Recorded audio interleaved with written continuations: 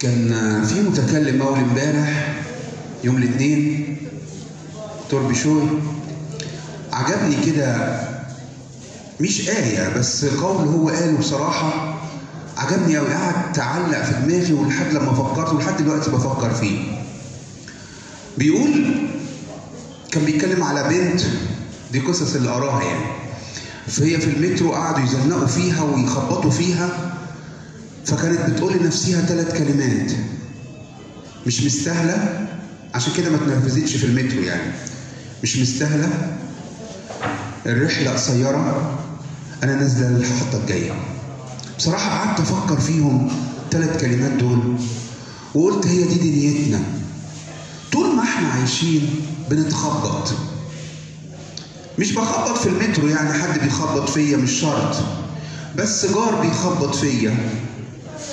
ومشكلة بتقعد تخبط فيا.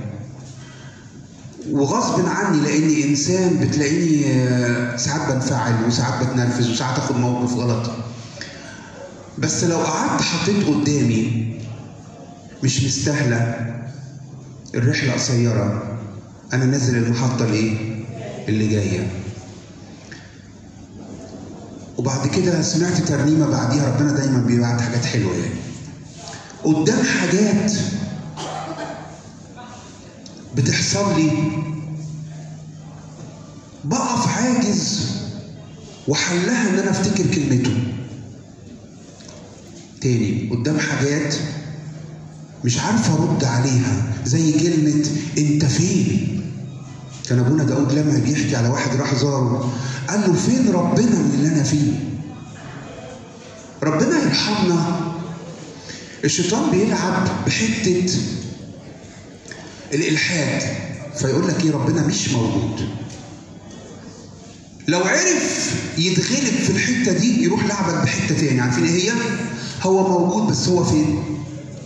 هو موجود بس هو فين؟ إلى متى يا رب تنساني؟ لحد إمتى هتنساني إنت فين من اللي أنا فيه؟ بس كلمة إنت فين من اللي أنا فيه؟ ردها في كلمته. لما أقعد الف في الكلمة بتاعته وأقول كل الأشياء تعمل مع الخير. طب لما حد ضايقني لا يغلبنك الشر. بل يغلب الشر بالايه يبقى إيه؟ أنا بغلب بإيه؟ بالكلمة إيه؟ الكلمة بتاعته.